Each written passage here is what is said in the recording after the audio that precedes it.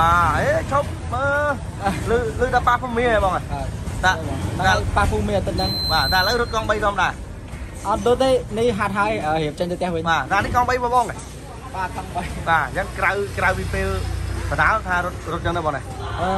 និយាយទៅអត់មានពេលរត់ដែរដោយសារយើងសម្រាប់យកកម្លាំងច្រើនអូបាទអត់ដែរបានរត់កង់3ទេបាទ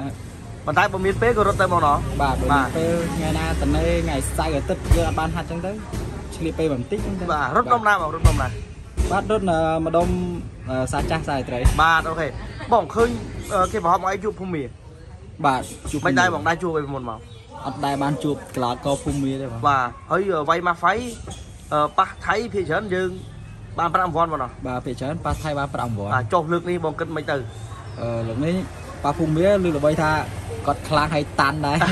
តែ ខ្ញុំនៅចង់ឈ្នះបងបាទនៅចង់ផ្ដួលបងនេះនៅចង់ផ្ដួលបាទពួកពួកគេហៅថាចង់បាន5អង្វាន់បន្ថែមបាទចង់បានចង់បាន5វ៉ាន់សូម្បីតែរត់កង់3នេះមិនដឹងហ៊ានរត់មកនេះបាទទៅទេសម្រាប់យកកម្លាំងបាទបាទមានអីនិយាយទៅកាន់បងប្អូនយើងបងព្រោះប៉ះភូមិជាកីឡាករមួយដែលប្រជាជនខ្មែរចង់ឃើញប៉ះខ្មែរណាស់បាទជាចុងក្រោយអឺសូមអរគុណដល់ប្រិយមិត្តទាំងអស់ហើយ